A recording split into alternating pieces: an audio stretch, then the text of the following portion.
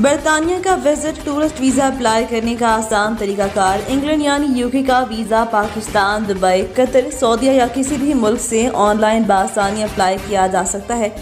अगर लंदन जैसे पुरकशी शहर घूमने जाना चाहते हैं और बरतानिया का वीज़ा अप्लाई करने की ख्वाहिशमंद हैं यूके वीज़ा की फ़ीस वीज़ा, विजिटर वीज़ा छः माह तक की मुद्दत के लिए जारी होता है, जिसकी फ़ीस पचानवे पाउंड है।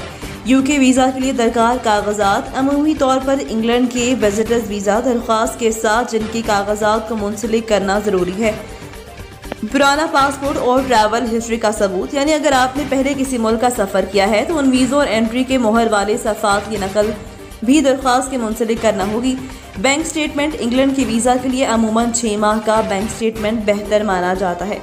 इसके अलावा मुद्दन और आमदन और ज़राए आमदन का सबूत, बरतानिया के टूरिस्ट वीज़ा की दरख्वास्त देने वालों को दरख्वास्त के साथ अपनी आमदन और ज़राए आमदनी के सबूत भी मुंसलिक करना होते हैं। साल के तौर पर अगर आप कहीं मुलाजमत करते हैं तो आपको अपनी कंपनी या एम्प्लॉयर से एक लेटर लेना होगा, जिसमें आपकी मुलाजमत की नौत तनख्वाह और अहदे वगैरह की तफसीत दर्ज होंगी। इसके अलावा अगर आपका ज़ाती बिज़नेस है या आप फ्री लांसर हैं तो इसकी रजिस्ट्रेशन या ऑनरशिप, टैक्स की तफसीत के डॉक्यूमेंट्स भी वीज़ा दरख्वास्त के साथ जमा करवाने होंगे।